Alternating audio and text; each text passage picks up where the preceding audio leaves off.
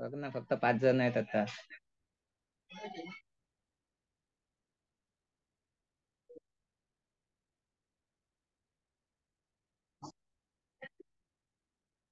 Sanjay sir, आवाज़ येतोय? Hello?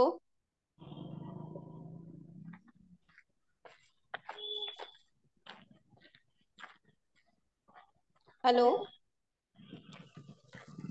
Ankush sir?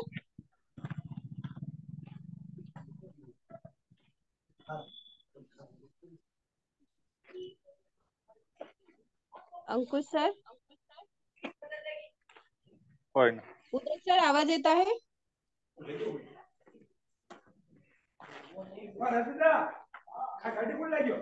Uday sir?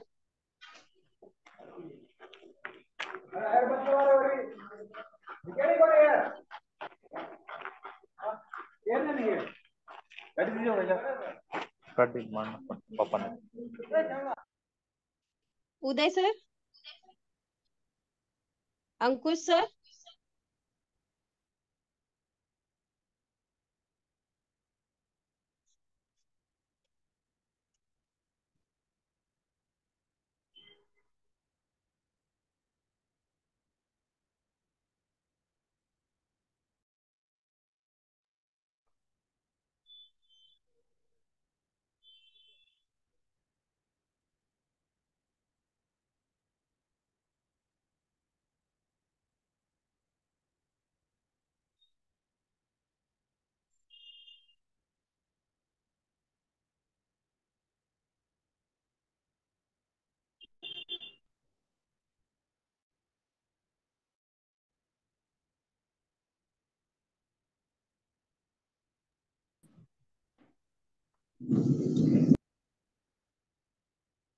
चालू करें मैम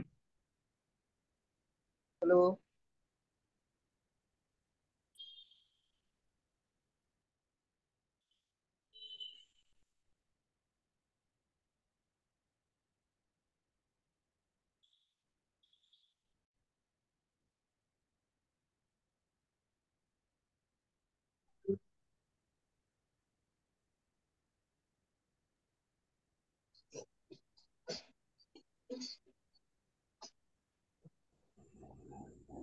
हॅलो? हा मॅम चालू करा ना. हा हा. अ, एक मिनिट हा अंकुश सर. हा मॅम. उदय सर आपल्याला येत आहे आवाज?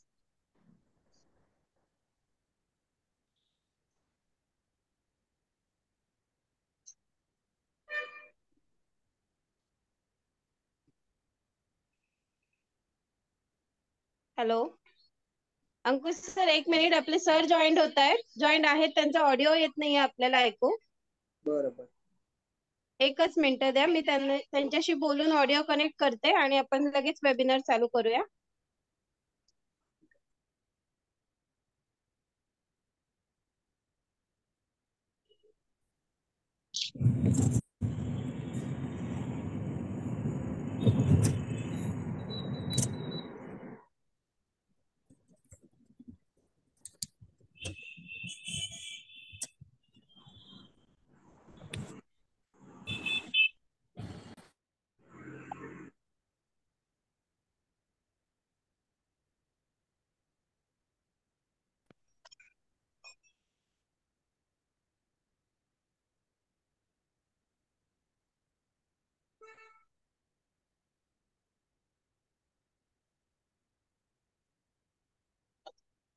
हा मॅडम आवाज येतोय का?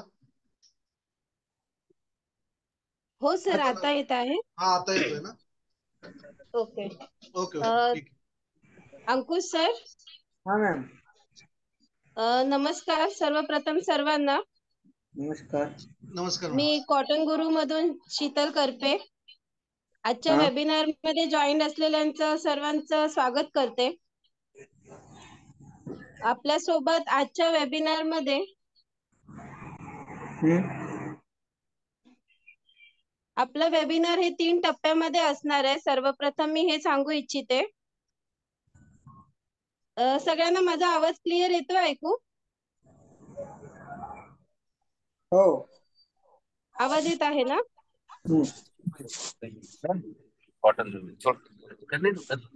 आपल्या वेबिनारच्या एक पहिल्या टप्प्यात आपण बघणार आहोत टेक्सपोसिल जे आपले एक्सपर्ट इथे आहेत जॉईंट आपल्यासोबत ते आपल्याला एफपीओ ला काही गायडन्स करणार आहे. त्याचप्रमाणे आपल्यासोबत जोडलेले आहेत पुरुषोत्तमजी शर्मा. हे कृषी तज्ञ म्हणून ओळखले जातात. तसेच कॉटन गुरु महा एफपीओ चे प्रमुख मनीष दागा सर सुद्धा आपल्यासोबत जॉईंट आहेत. तर आता वेबिनारला आपण सुरुवात करतो. सर्वप्रथम वेबिनारच्या सुरुवातीला मी आमंत्रित करू इच्छिते उदय सरांना. उदय सर हे टेक्सपोसेल मधून आहेत. अ, उदय सर?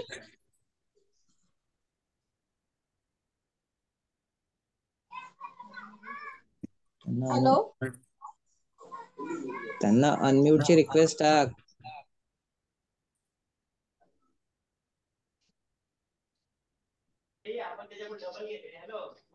हॅलो हॅलो हा सर हा उदय हा सर हा येतोय आवाज येतोय माझा. हो येत आहे. आज. आपल्यासोबत वेबिनारमध्ये जॉईंट आहेत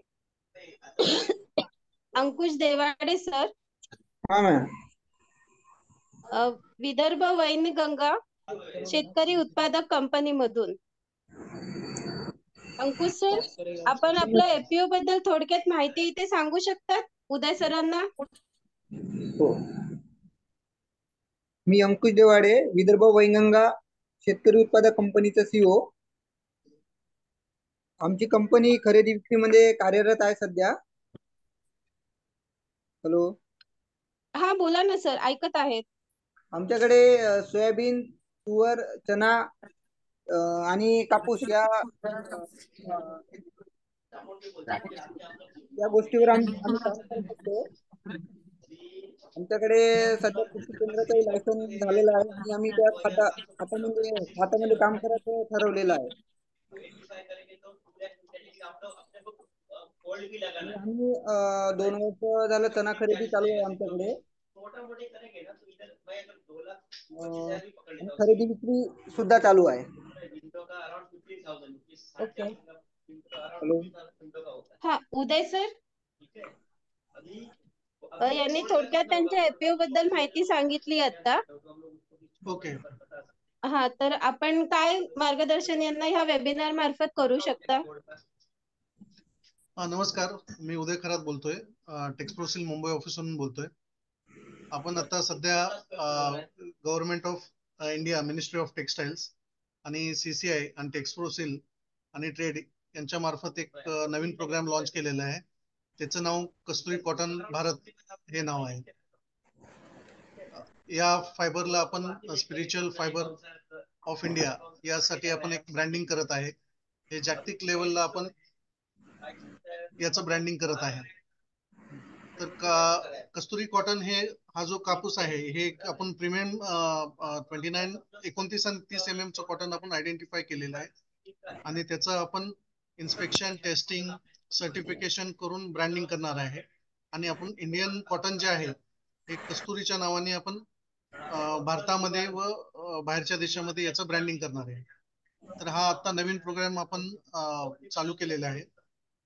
तर यासाठी आपण ट्रेसेबिलिटी आपण चालू करतोय. तर ट्रेसेबिलिटी जिनर स्पिनर व्ह्युअर व सगळे जे प्रक्रिया व निर्मिती जे करतात कॉटन व त्यापासून जे काही फॅब्रिक बनवतात त्या सगळ्यांना आपण ऑनबोर्ड करून रजिस्ट्रेशन करून यांचं आपण सप्लाय चेन ट्रेसेबिलिटी आपण मेंटेन करणार आहे. सध्या आपण सुरुवातीला हे पहिलं वर्ष असल्यामुळं आपण थोडं उशिरा चालू केल्यामुळं सध्या आपण शेतकऱ्यांचं रजिस्ट्रेशन यावर्षी घेत नाहीये.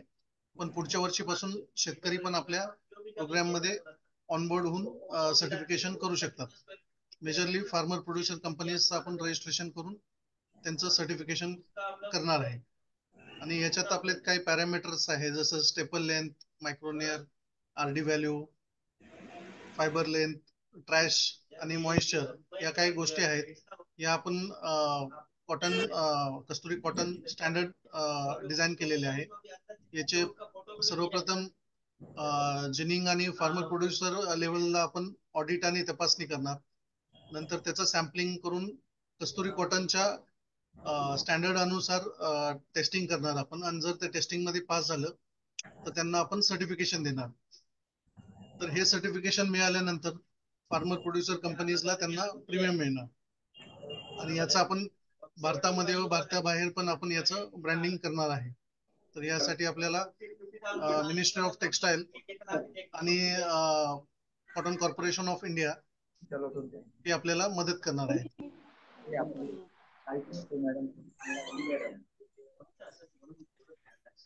तर यासाठी तुम्हाला अधिक काय माहिती पाहिजे असेल तर तुम्ही मला कनेक्ट करू शकता. कस्तुरी कॉटनसाठी. ठीक आहे मॅडम तुम्ही करू शकता. हो हो. अंकुश सर? हा आता उदय उदय सरांनी जी माहिती सांगितली आपल्याला तुम्हाला त्याबद्दल त्यांना काही प्रश्न विचारायचे आहे किंवा काही त्याबद्दल डिस्कस करायचं आहे या वेबिनारमध्ये आता? हे हे ऑर्गॅनिक कॉटन राहील का सर? नाही नाही हे ऑर्गॅनिक नाही. हे कन्व्हेन्शनल कॉटन आहे. ऑर्गॅनिक कॉटनचा वेगळा प्रोग्राम आपला अपेडाचा ऑलरेडी ट्रेसनेट आहे. हे जे आहे कस्तुरी कॉटन इंडिया हे कन्व्हेन्शनल कॉटन आहे. कन्व्हेन्शनल. इंडिजिनियस कॉटन आहे. आणि हे स्पेसिफिकेशन स्पेक्स बेस्ड प्रोग्राम आहे. याच्यात एकोणतीस आणि तीस एम एम चा कॉटन आपण आयडेंटिफाय करणार आहे. आणि याचं. स्टँडर्डायझेशन करून टेस्टिंग सर्टिफिकेशन करून ब्रँडिंग करणार आहे. ओके ओके सर ठीक.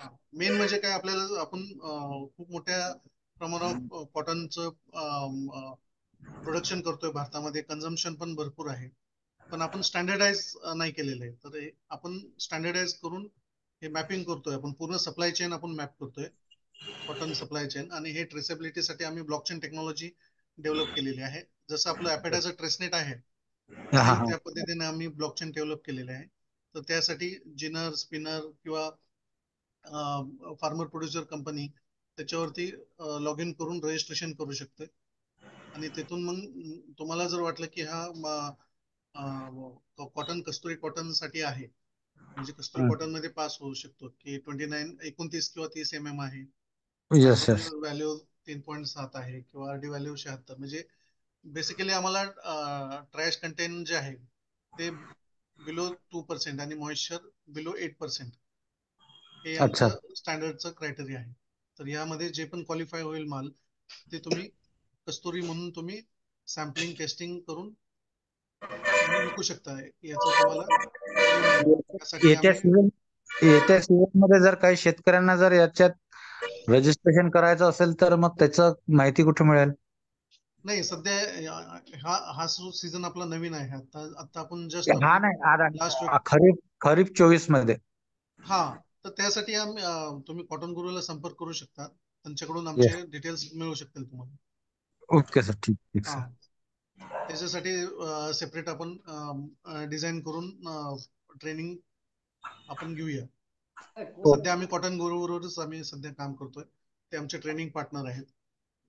ठीक सध्या आहे जस्ट हा हे वर्ष जे आहे हा सीझन आहे आम्ही फक्त आता अवेअरनेस क्रिएट करण्यासाठी कस्तुरी कॉटन स्टँडर्डचं शेतकऱ्यांमध्ये किंवा फार्मर प्रोड्युसर कंपनीमध्ये अवेअरनेस क्रिएट करण्यासाठी आम्ही सुरुवात केलेली आहे. ओके ओके सर ठीक सर. हम्म. अ, अजून कोणाला काही प्रश्न विचारायचे आहेत? Uday सरांसाठी? Rameshwar sir Nitin sir?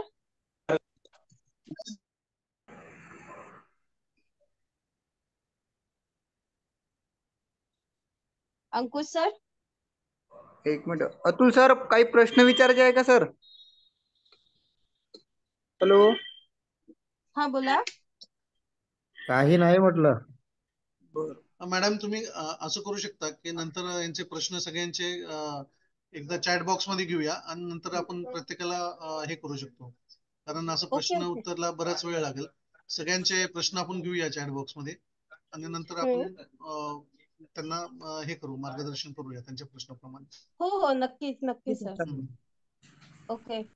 अ, आता आपल्यासोबत इथे जॉईन झालेले आहे कॉटन गुरु महा एफपीओ चे Manish Daga sir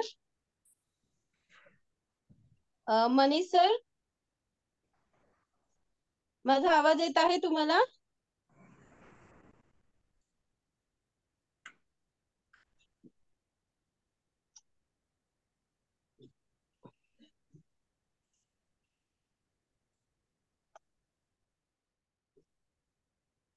sir join होईपर्यंत कदाचित नेटवर्क इश्यू असू शकतो त्यांना. आता वेबिनारच्या पुढच्या टप्प्यात मी आमंत्रित करू इच्छिते पुरुषोत्तमजी शर्मा यांना.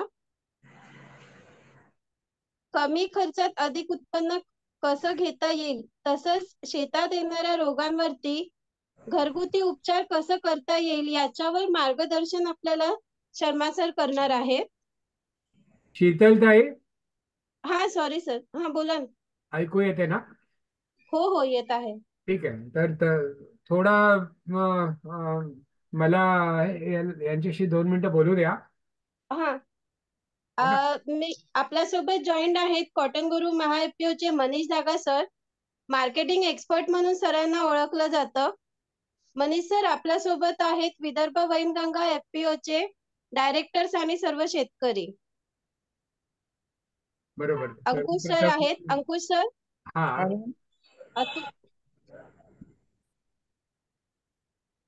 अंकुश भाऊ नमस्कार. नमस्कार सर. हो आणि जुडलेले एफपीओ चे सर्व डायरेक्टर्स आणि दुसरे शेतकरी बंधू आणि टेक्सप्रोसिल मधून उदय भाऊ और अ, शर्मा जी आप सभी को सादर नमन.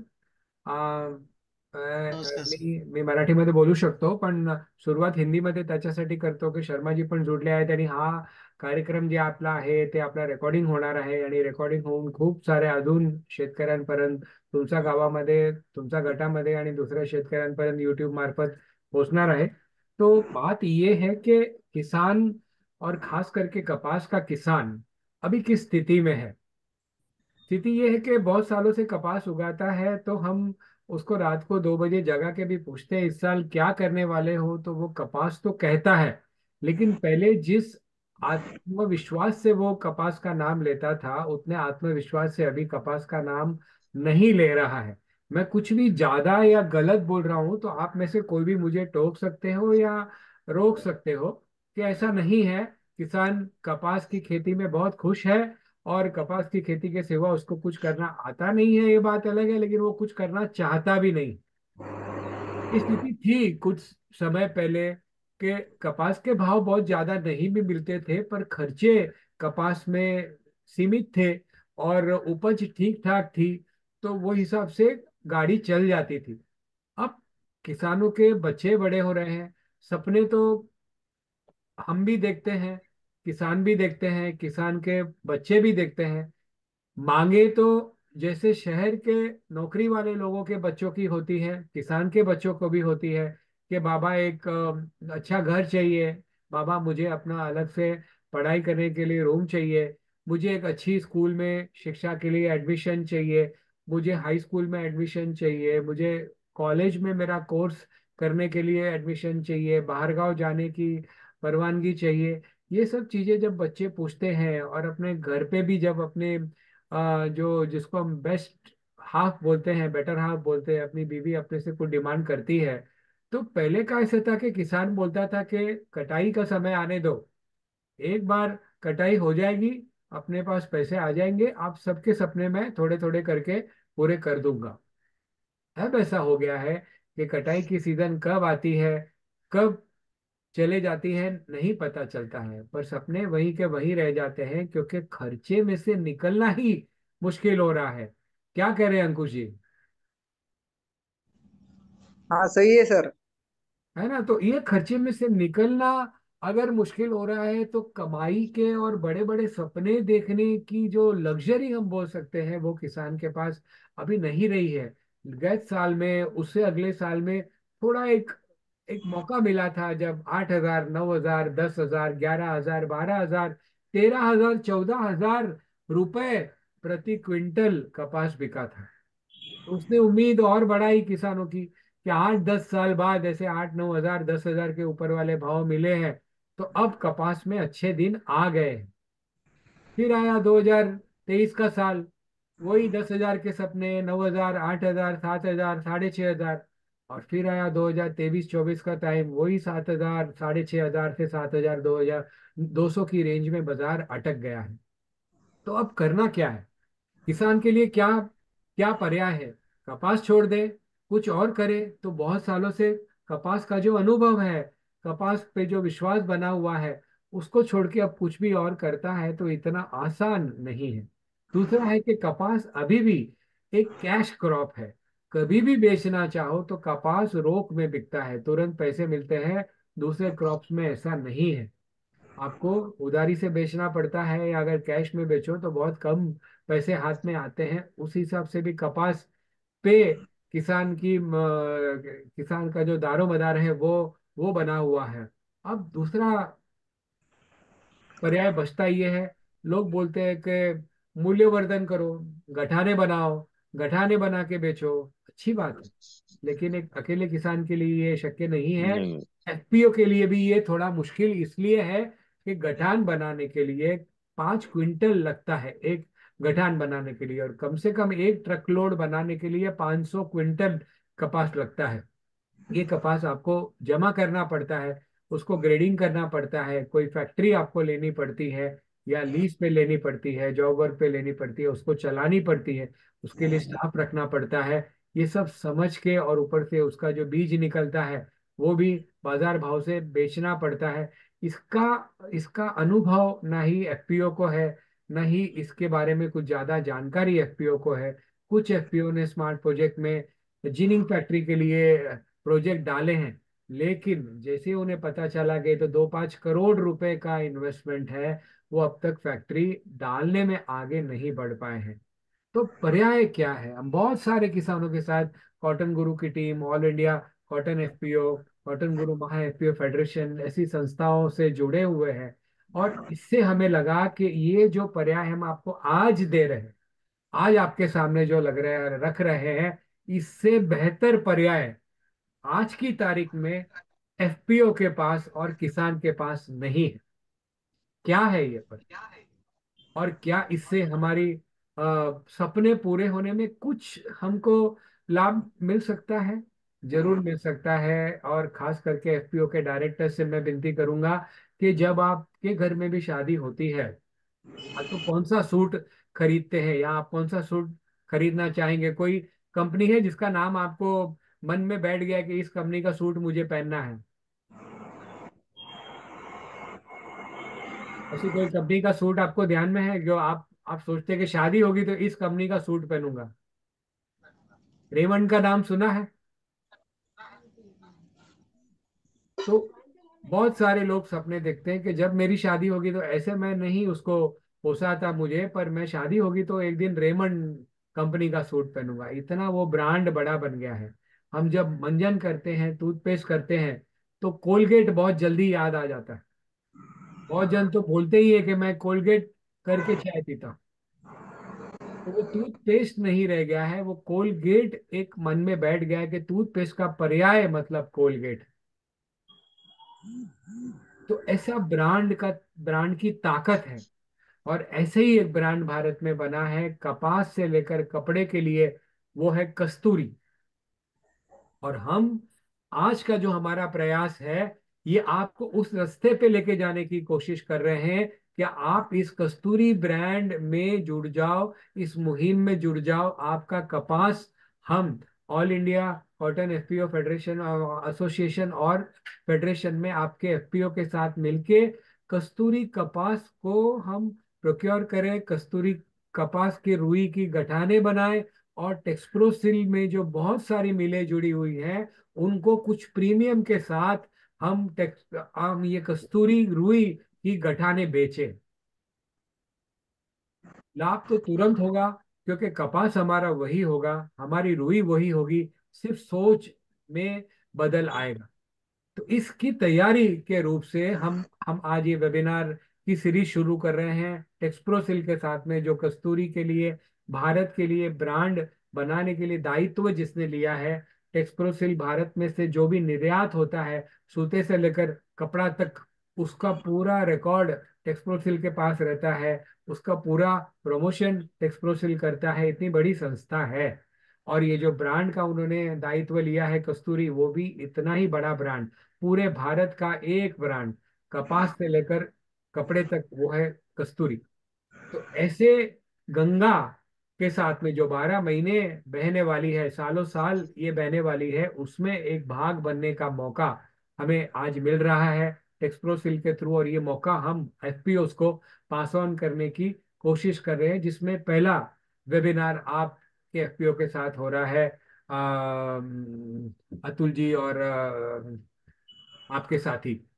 तो ये मौका हम आपको दिखाना चाहते हैं कि आप अगर इस पथ पर हमारे साथ मिलकर चलते हैं तो हम ये आपको आश्वासित करते हैं कि आपका गठान के रूप में कन्वर्शन होगा मूल्य वर्धन तो होगा ही, लेकिन वैल्यू क्रिएशन होगा, मूल्य का सर्जन होगा। तो अंकुश जी, ये मूल्य सर्जन करने का एक छोटा सा प्रयास है हमारा कॉटन गुरु टीम का और टेक्सप्रोसिल जैसी बड़ी संस्था को साथ में लेकर, आप पे एफ़ को साथ में लेकर, आपके डायरेक्टर्स की टीम को साथ में लेकर, आपकी किसानों को साथ में लेकर। और भारत को इससे जोड़कर, भारत के कपास के किसानों को इस पे जोड़कर सबको आगे ले जाने के लिए। अब आप आगे बात कर सकती है शीतल पुरुषोत्तम जी के साथ में और मार्केटिंग के विषय में कोई भी सवाल हो तो मैं हूँ ही।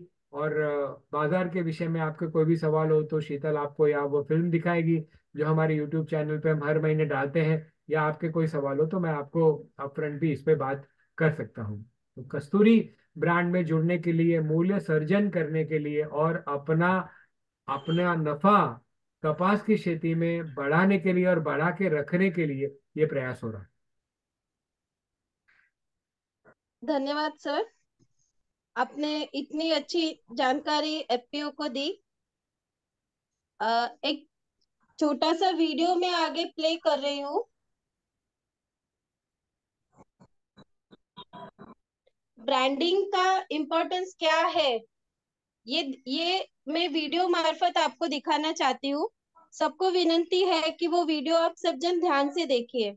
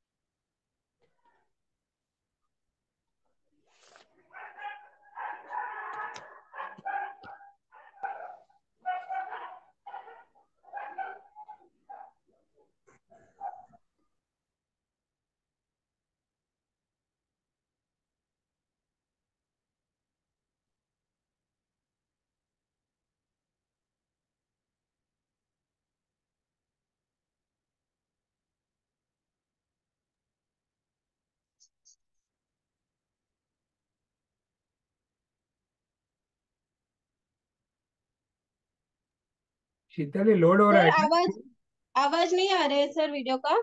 आवाज़ भी नहीं आ रही है और पिक्चर भी नहीं आ रहा है। पिक्चर यहाँ से एक सेकंड सर।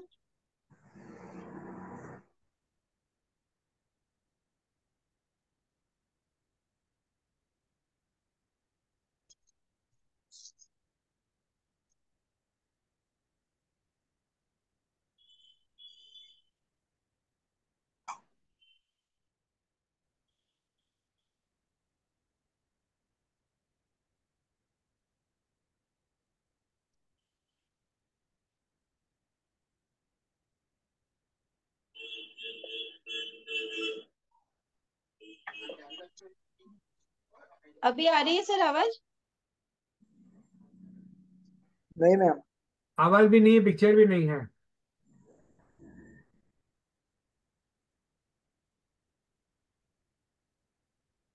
वही दिखा रहा है this video is based on my internet search it may not be 100% accurate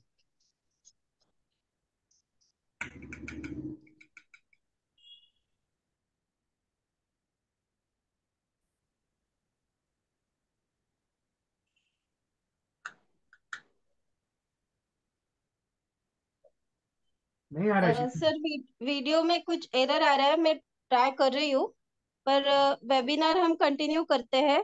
yes अगले वेबिनार के डब्बे में हम इनवाइट करते हैं पुरुषोत्तम जी शर्मा इनको। कम लागत में अधिक उपज कैसे ली जाती है?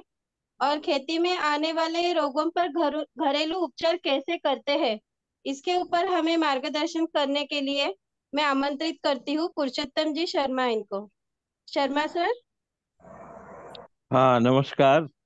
नमस्कार सर। थोड़ा सा परिचय दे दीजिए आप महाराष्ट्र के जो किसानों का तो अच्छा रहेगा उनसे भी साक्षात्कार हो जाएगा और नए साल का नमस्कार भी हो जाएगा।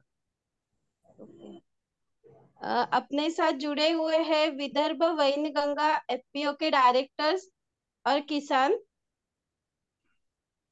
इनके यहाँ पे कपास तूर चना सोयाबीन इसकी खेती की जाती है। और इनके डायरेक्टर्स है अंकुश सर। हाँ मैम हमारे हाँ अपना अपने साथ कृषि तज्ञ जुड़े हुए हैं। हाँ। पुरुषोत्तम सर मैं आपको ये पूछना चाहती हूँ कि अभी महाराष्ट्र में किसानों की ऐसी हालत है कि उपज कम होती जा रही है। जो भी वो खेती में कर रहे हैं उन्हें अच्छा रिज़ल्ट नहीं दिख रहा है। तो आप इसके बारे में हाँ। किसानों को क्या सजेस्ट करेंगे कि उन्होंने क्या करना चाहिए? किसान भाइयों राम राम। नमस्कार। अ, नमस्कार। मुझे बहुत के बात कर रहा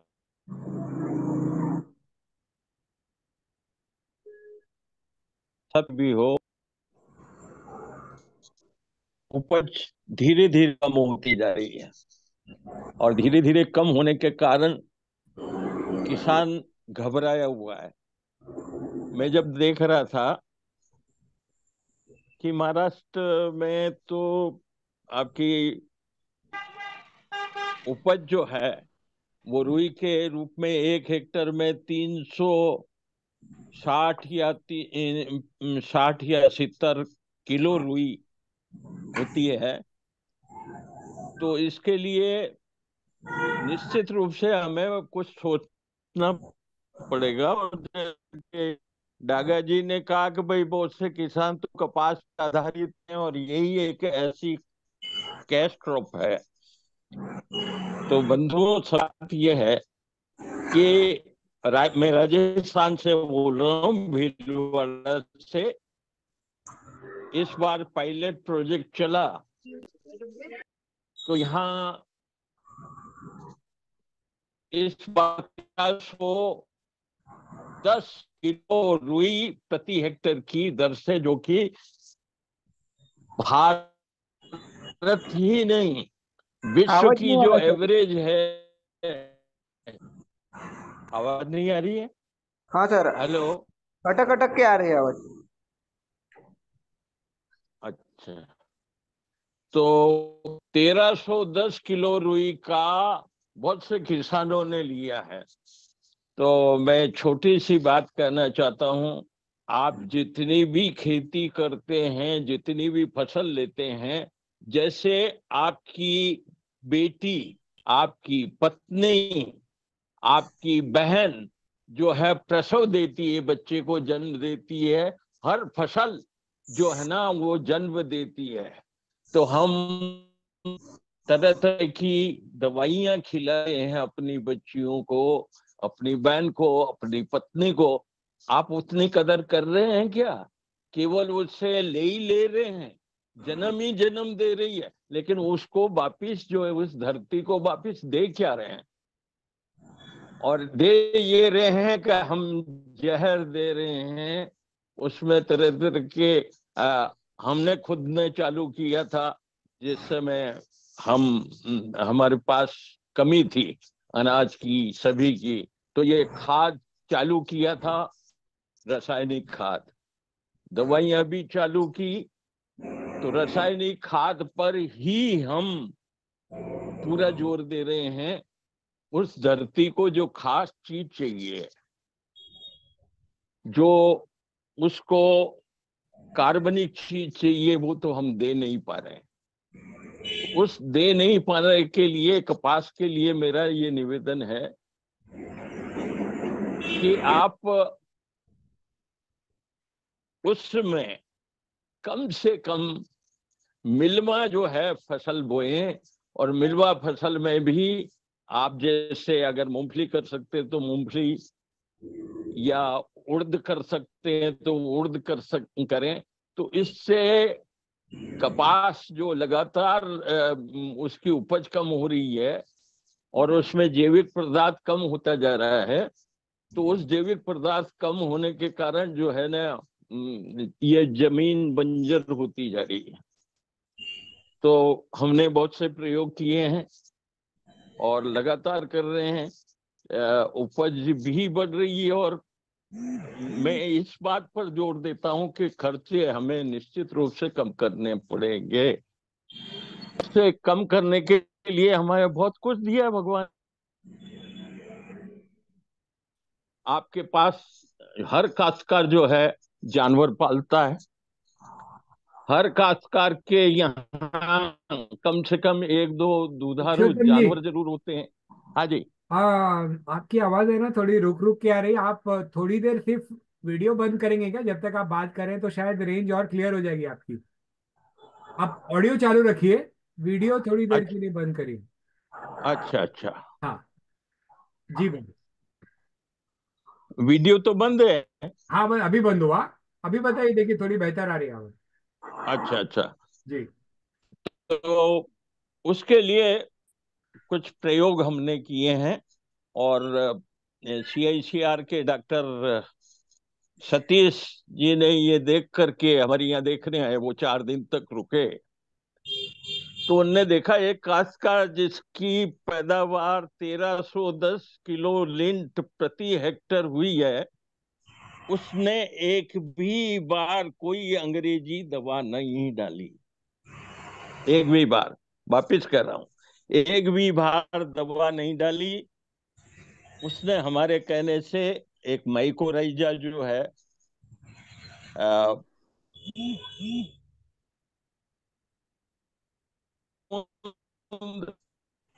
प्रति एकड़ के हिसाब से चार किलो के हिसाब से डाला और ये फफूंद जैविक है। और इस जैविक से उसकी उपज बढ़ी। उसने फ़सल में कीड़े वगैरह मारने के लिए छाछ, गोमूत्र, नीम, आकड़ा, एलोवेरा, ये जो है धतूरा वगैरह, इससे बना करके और उसने दो बार प्रयोग किया। तो ये चीज़ें तो आपके यहाँ भी है। तो आप भी एक प्रयोग अभी मैं, मैंने चालू किया है कि आपके यहाँ जो खाद की रोड़ी होती है, खाद का घूरा होता है, आप क्या कहते हैं, जहाँ आप गोबर डालते हैं आपके पशुओं का वगैरह खाद बनाने के लिए, उसमें मैंने ये किया कि खट्टी छाछ उसमें थोड़ा गुड़ मिला दें और उसमें गौमूत्र मिला दें और उसमें जो है थोड़ा छेद करके और उस गौमूत्र को और उसको जो है उसको दो बार छाटें तो कम से कम आपके पास जितना भी उपलब्ध गोबर है या जितना भी खाद है, कम से कम वो तो अच्छा हो। अभी आप जो खाद डालते हैं, चाहे मेरे प्रदेश में हो, चाहे आपके यहाँ हो, पूरे हिंदुस्तान में यही है कि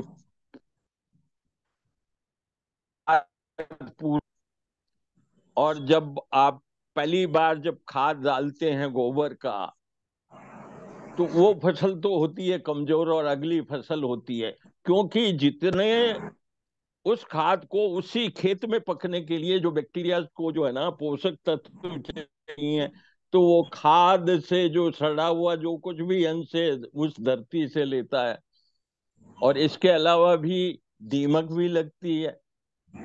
तो आप ये छोटे छोटे प्रयोग अगर, अगर आप करते हैं तो निश्चित रूप से जो है आपका होता आपकी जो जो कीमत घटानी है जो आपको खेती में जो लागत बढ़ती चली जा रही है उसमें भी कमी होगी। तो दूसरा जो है अभी जो भी वैज्ञानिक हैं वो जो है बड़ी बड़ी बातें करके और कहेंगे भाई आप जो है चमत्कार छांट दो, तीन बार छांटो, दो बार छांटो। भाई, कीमत तो बढ़ती जा रही है, हम जो जो भी छाटेंगे, आप ये बताओ कि मतलब उसमें हम कमी कैसे करें?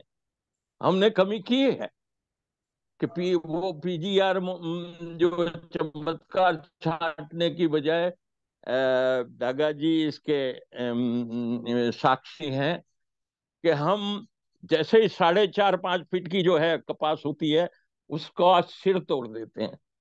तो यवतमाल में तो डागा जी वो मशीन से करवा रहे हैं। हमारे यहाँ तो ले जो महिलाएँ हैं, सुबह चारा वगैरह काटने के लिए जाती है और उसके सिर तोड़ देती है। तो उसमें पैसे की भी बचत है और वो जो जो भी खटता है, उसको जानवरों को भी खिलाने के लिए मिल जाता है।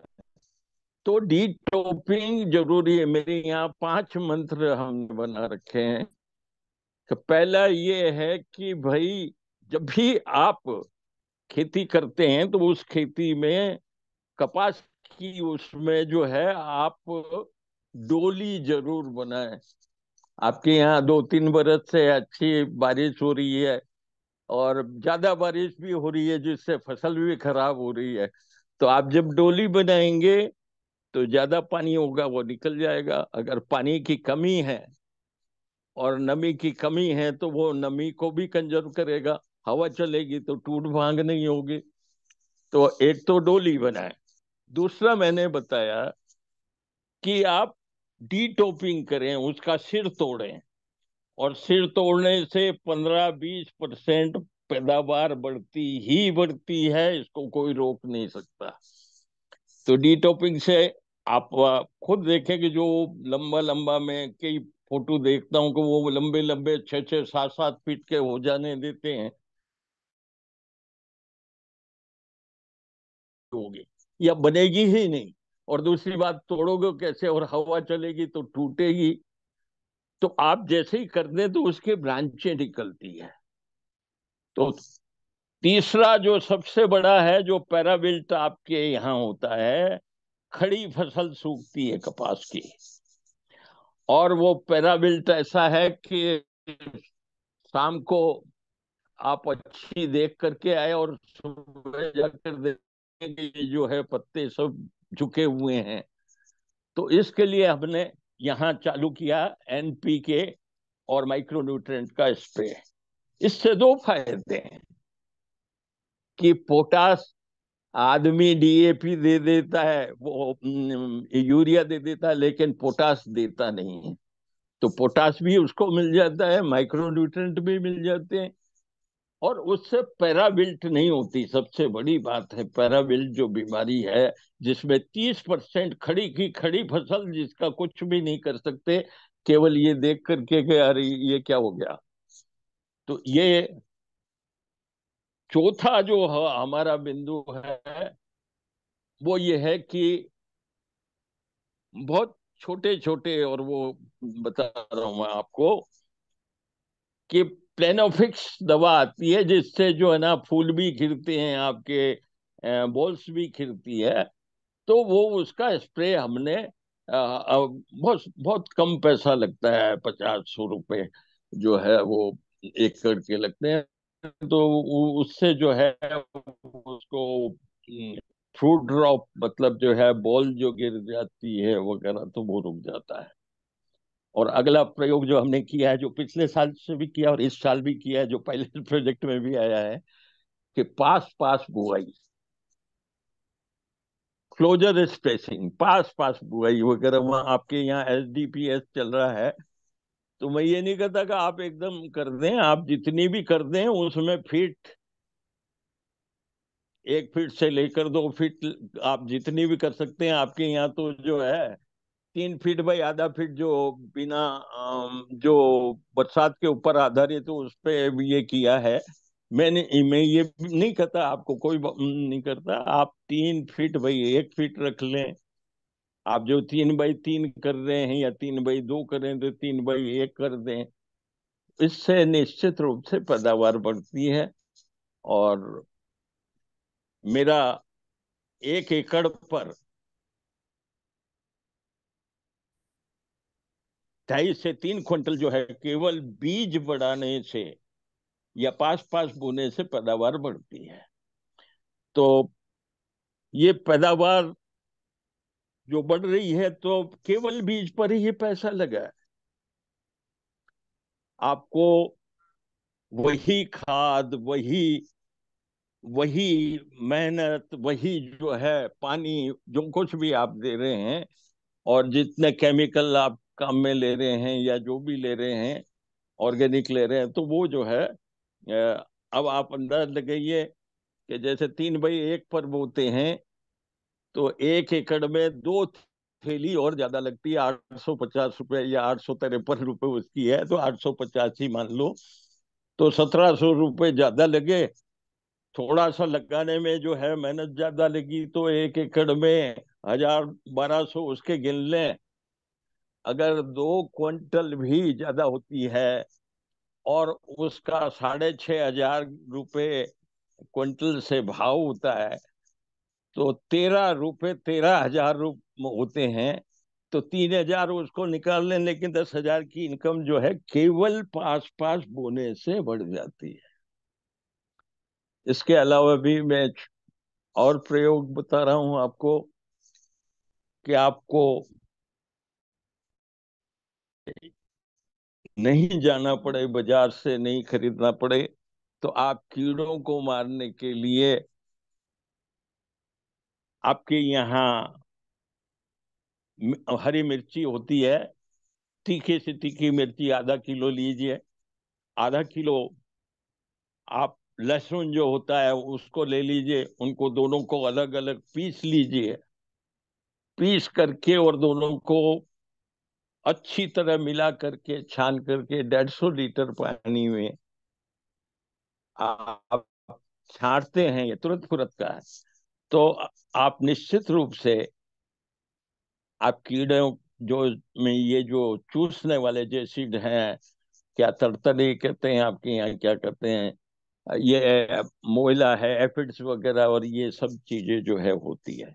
इसके अलावा आप छाछ खट्टी छाछ एक, एक लीटर गौमूत्र एक लीटर इन दोनों को मिलाकर बाकी का मशीन जो पंद्रह लीटर की होती है, उसमें जो है पानी करके छांटते हैं।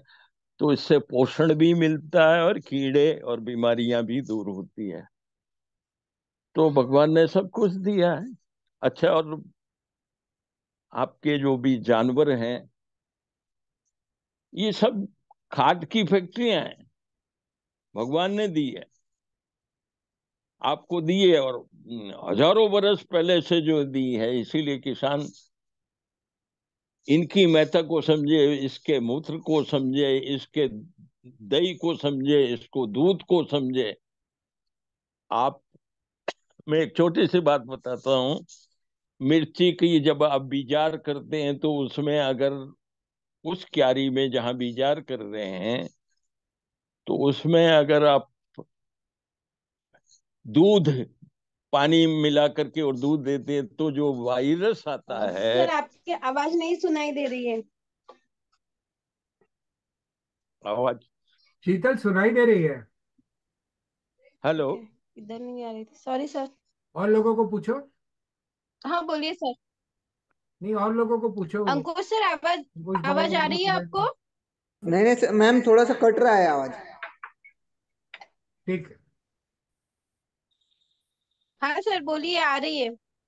अभी आ रही है। हाँ तो आप जो है आप इसका जब प्रयोग करेंगे तो उससे जो पत्ते सिकुड़ने की जो बीमारी होती है जो वाय वायरस से तो ये दूध दही गुड़ ये सब जैविक चीज़ें हैं जो मनुष्य को प्रिय है वही जो है ना इस भूमि को, मिट्टी को भी प्रिय है। तो आप ऐसा करके देखिए, मेरे एक काश्तकार ने, जो भक्तपुर है ना, वो मेरे संपर्क में है। उसने क्या किया है कि गुड़ को एक बोरी में लपेट करके और उसने जो है, उसमें जो पानी जो पिलाते हैं गेहूँ के, उसमें जो है धोरा कहते हैं, हमारे यहाँ चैनल जिसे कहते हैं, उसमें डाल दिया। उसकी फ़सल इतनी ज़बरदस्त है कि उसने मुझे फ़ोटो डाला परसों के दिन वगैरह का। आप बताओ साहब ये कैसा है? और वो कोई न कोई प्रयोग करता रहता है। तो हम हम भी कर सकते हैं। गुड़।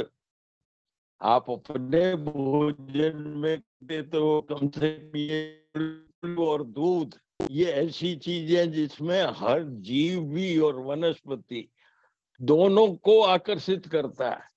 जानवरों को खिलाएँ तो आपका दूध बढ़ जाता है। फ़सल में दें तो उसमें जो है जैविक क्रिया ज़्यादा होकर के और आपकी फ़सल को बढ़ोतरी करती है।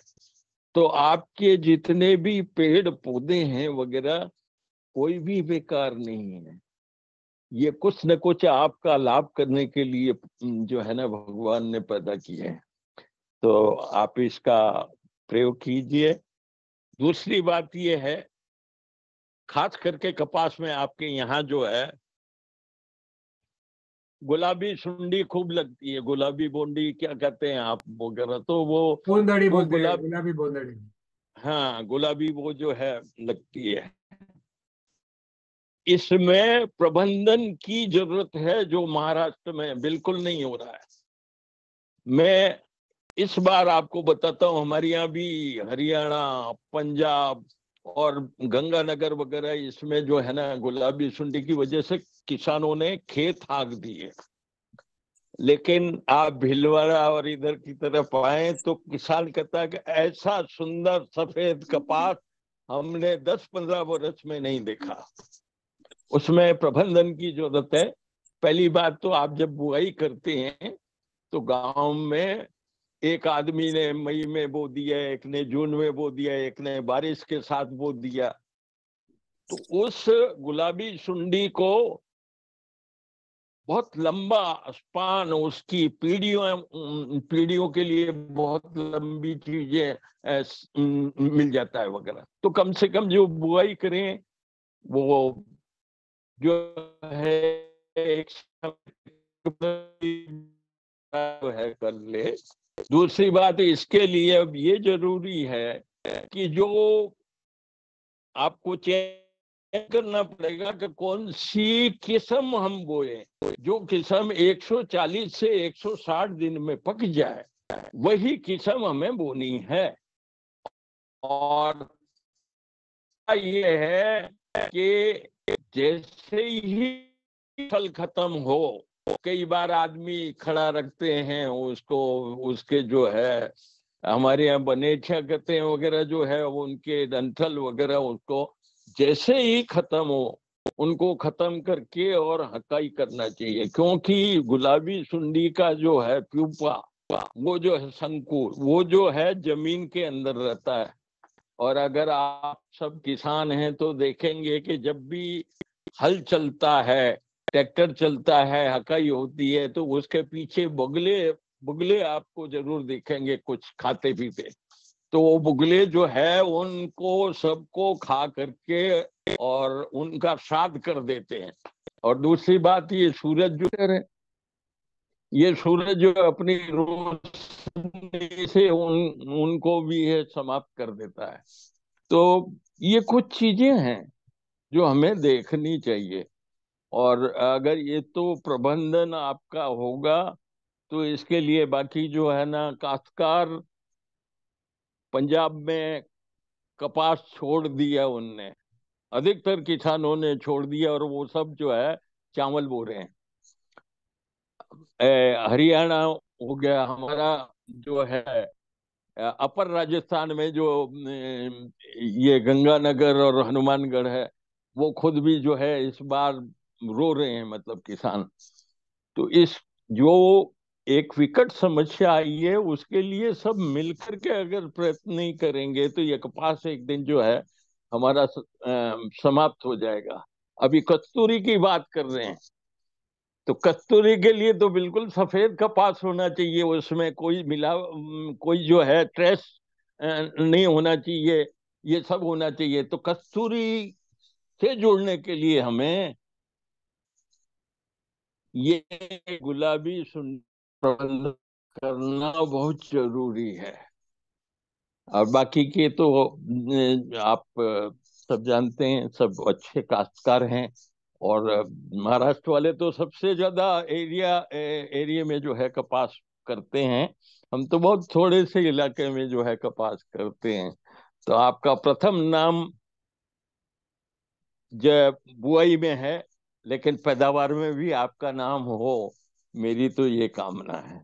बहुत बहुत धन्यवाद। कोई प्रश्न हो तो मैं निश्चित रूप से जवाब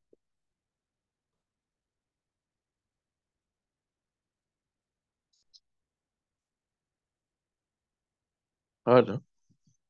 जी बहुत आभार हेलो। पुरुषोत्तम जी। शीतल मैं सिर्फ़ सार में बोल दूँगा में जो इन्होंने कहा। ना शेती चांगल्यापैकी करायची हे तर पर्यायच नाही आहे आपल्याला पण खर्च कसं कमी करायचा? आणि आपल्याकडे जे पदार्थ आहे त्याचे उपयोग करून आपण शेतीचं उत्पन्न कसं वाढवायचं हे पुरुषोत्तमजींनी सांगितलं. पंचेचाळीस वर्षांचा अनुभव त्यांना आहे. कृषी तज्ज्ञ ते आहे. आणि गव्हर्नमेंट डिपार्टमेंटमध्ये पण होते. प्रायव्हेट संस्थाशी पण ते जुडले आहेत.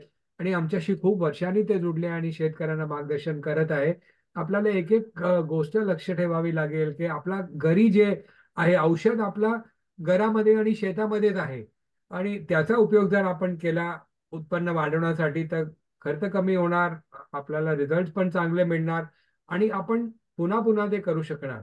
बाजारमधून आणलेली सर्व वस्तू महागच असते तशी नाहीये. पण ते भारतीय वस्तू विषारी पण असू शकते. इथे ते भीती नाही आहे. तर हे काय काय पदार्थ आहे त्यांनी सांगितलं तुम्हाला लक्षात राहिला तर चांगलं गोष्ट आहे. नाही तर आमची टीम तुम्हाला नक्की गाईड करेल की काय केलं पाहिजे. दुसरं आहे की गुलाबी बोंदडी जे सात वर्षांनी महाराष्ट्रामध्ये एकदम शेतकऱ्याला हैराण परेशान ज्यांनी करून टाकलंय मागच्या वर्षी नव्हती यावर्षी पुन्हा आलेली आहे. तर याचा नियंत्रण करण्यासाठी जे जे तुमची लागवडची कालावधी आहे ते तुम्ही कमीत कमी ठेवा. पंधरा ते वीस दिवसामध्ये पूर्ण गावामध्ये लागवड झाली पाहिजे.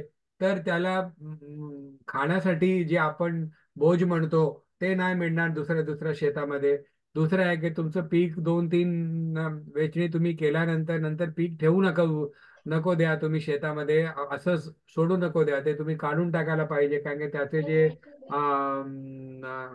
आपण प्युपा म्हणतो त्याचे जे बीज म्हणतो ते ते श- मध्ये राहणारच आहे आणि ते पुढच्या वर्षी पण आपल्याला हैराण करणार आहे. तर दोन तीन गोष्ट अशी आहे जे आपलं आणि दुसरं शॉर्ट ड्युरेशन ते जे वाण आहे ते तुम्ही उपयोगमध्ये केले पाहिजे. एकशे चाळीस एकशे पन्नास दिवसाचे. तर तुमचा ऑक्टोबर नोव्हेंबरमध्ये नोव्हेंबर डिसेंबरमध्ये जेव्हा बोंदडी येण्याचा हायेस्ट रिस्क असतो आपल्याला जास्तीत जास्त भीती असते त्या पिरियड पर्यंत तुमची पहिली दुसरी वेचणी होऊन गेली असेल. तर हे दोन तीन गोष्ट आहे. आपण कंटिन्यूस संपर्कमध्ये राहिलो. आता आमच्या युट्यूब चॅनलवर पण तुम्हाला हे मार्गदर्शन मिळणार आहे. आणि आमच्या टीमकडून पण तुम्हाला मिळत राहणार आहे. तर हे हे पुरुषोत्तमजीचं म्हणणं होतं. आणि कस्तुरी ब्रँडमध्ये जुडण्यासाठी चांगला सुरेख कापूस पिकवण्यासाठी पण आपल्याला नियोजन चांगल्यापैकी करणं गरजेचं आहे. हा शीतलताई. अंकुश सर?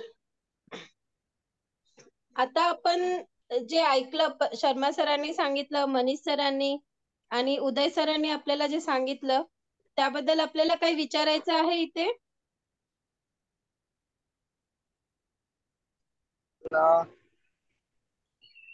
सर कुणाला विचारायचं आहे का काही?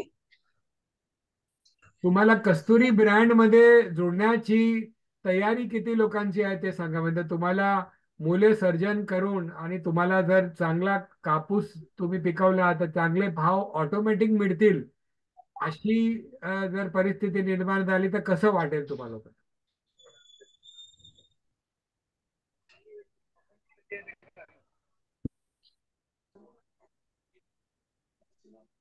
चांगलं वाटेल की काय फरक पडणार नाही?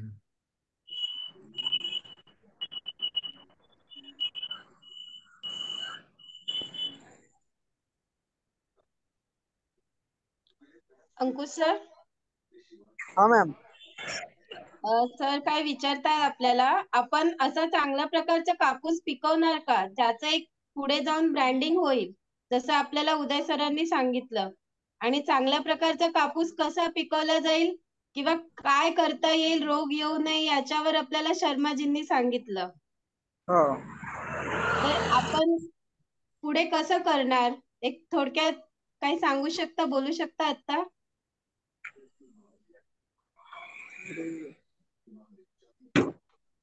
आपले काही प्रश्न आहेत?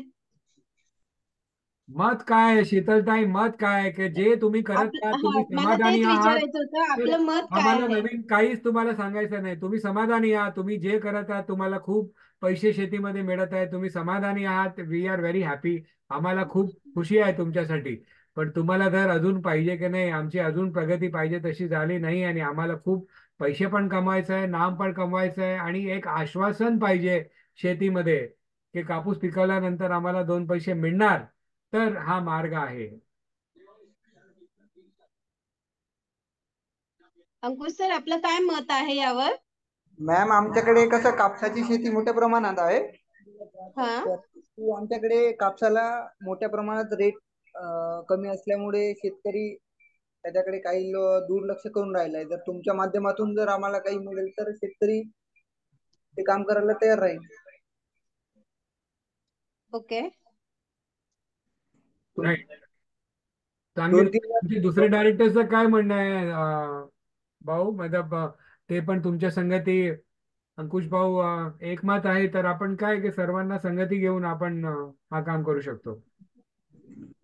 हा सर आपण जर आज जर सेमिनार असा दोन चार वेळा शेतकऱ्यांना जर आपण करून माहिती जर दिली तर आपलं शेतकरी त्या गोष्टीला सहमत राहील आणि काम करण्यास इच्छुक राहील. नक्की. आज तर आम्ही वेबिनार घेतला. जर तुमची तयारी असेल तर आमच्या तुम आमची वर्कशॉप घेण्याची पण तयारी आहे तुमच्या संगती. तुमच्या गावामध्ये येऊन वर्कशॉप घेऊ आम्ही चालेल चालेल ना सर. है ना? तर तर तुम्ही जास्तीत जास्त शेतकरीला बोलवा. आणि तुमच्या डायरेक्टर टीमला बोलवा आणि तुम्ही समजून घ्या काय करायचं आहे. आणि पहिला टप्पा हेच असेल की या जे जे आपल्याला जे खूप फार असं स्वप्न वाटत आहे याला या वर्षीच पूर्ण करण्यासाठी एक प्रथम ठोस पाऊल तुमचं होणार ठीक आहे सर. राईट तर तुमचे एफपीओचा लेटर वर तुम्ही हा कार्यक्रम तुम्हाला कसा वाटला ते पण लिहून नक्की पाठवा. एक दोन व्हिडिओ पाठवा तुमचे की कसं वाटला तुम्हाला हा कार्यक्रम आणि अजून काय तुमची अपेक्षा राहणार आहे आणि कस्तुरीमध्ये जोडण्याची तयारी आहे ते त्याच्यासाठी तुम्हाला काय करावं लागेल ते समजून घेण्याची तयारी आहे.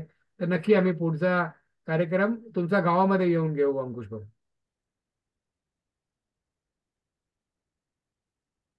ठीक आहे सर. शेतकऱ्यांना कोणाला काही प्रश्न विचारायचे आहे का? हॅलो?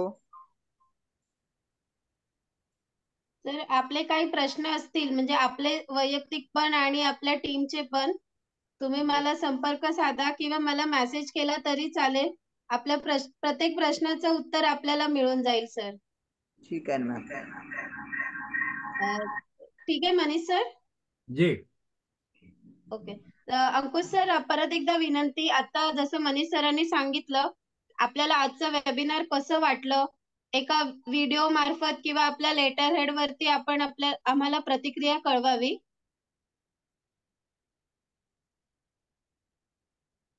अंकुश सर ऐकत आहात?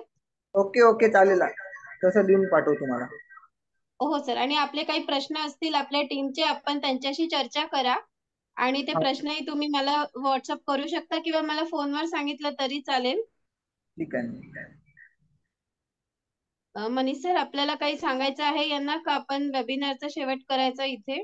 नाही संपवा आणि आपण आभार मानायचं या एफपीओचा वेनगंगा एफपीओ आणि मतलब यांचे जे डायरेक्टरगण जोडलेले आहे ते शेतकऱ्यांचा आणि टेक्सप्रोसेलचा आणि पुरुषोत्तमजीचा सर्वांचा की सर्व मिळून या या या मोहीममध्ये जर जुडले तर अशक्य असं काहीच नाहीये असं मला वाटलं हो नक्कीच. तर आजचा वेबिनार इथे संपलं. मी असं जाहीर करते तसंच त्याच्या आधी मी आभार व्यक्त करते. आजचे पाहुणे एफपीओ विदर्भ वैनगंगा शेतकरी उत्पादक कंपनी यांचे सर्व डायरेक्टर्स आणि शेतकरी बांधव तसेच आभार व्यक्त करते. कॉटन गुरुचे प्रमुख मनीष दागा सर यांचे की त्यांनी छान प्रकारे एफपीओला ला आणि शेतकऱ्यांना मार्गदर्शन केलं. आणि मी इथे आभार व्यक्त करते टेक्सपोसिल मधून आलेले उदय सर यांचं. त्यांनी भविष्यात पुढे जाऊन एफपीओने ने कशी प्रगती केली पाहिजे याच्यावर आपल्याला मार्गदर्शन दिलं. आणि शेवटी मी आभार व्यक्त करते पुरुषोत्तमजी शर्मा यांचं. ते यांनी आपलं उत्पन्न कसं वाढता येईल आणि कसं चांगल्या प्रकारे आपल्याला पीक घेता येईल याच्यावर मार्गदर्शन केलं. आज वेबिनारमध्ये जुडलेल्या सर्व शेतकरी बांधवांचे आणि सर्व टीमचे येथे मी आभार व्यक्त करते. आणि आपलं वेबिनार संपलं असं मी सर्वांना जाहीर करते. थँक्यू एव्हरीवन शुभ मंगल कामना सर्वांना. थँक्यू थँक्यू मॅम थँक्यू धन्यवाद. आ, मनीष जी धन्यवाद बहुत बहुत धन्यवाद. बहुत दिनों बाद मिले हैं। हाँ जी उदयजी आपल्याला काही सांगायचं आहे जी। नाही नाही। नाही नाही थँक्यू धन्यवाद सर्वांसाठी खूब आभार। शर्मा जी फिर मिलेंगे बहुत जल्द। बहुत अच्छी बात बहुत बहुत धन्यवाद। नए वर्ष की शुभकामनाएँ। सभी को। धन्यवाद शर्मा सर। धन्यवाद धन्यवाद।